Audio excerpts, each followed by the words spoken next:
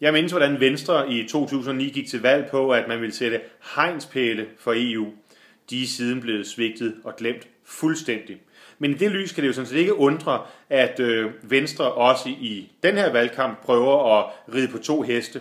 På den ene side, så vil man gerne fremstå bekymret over, at EU sådan æder sig ind på vores velfærdsydelser, øh, kontanthjælpen, børnepengene, dagpengene og hvad har vi.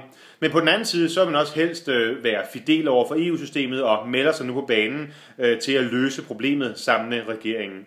Det er i et og alt fuldstændig ynkeligt. Der er kun én løsning på det her problem med EU og velfærdsydelserne, og det er et forbehold. Et forbehold, som klart siger, at de danske velfærdsydelser, det er alene Folketinget og ikke EU's anlæggende. Men også her, der svigter Venstre.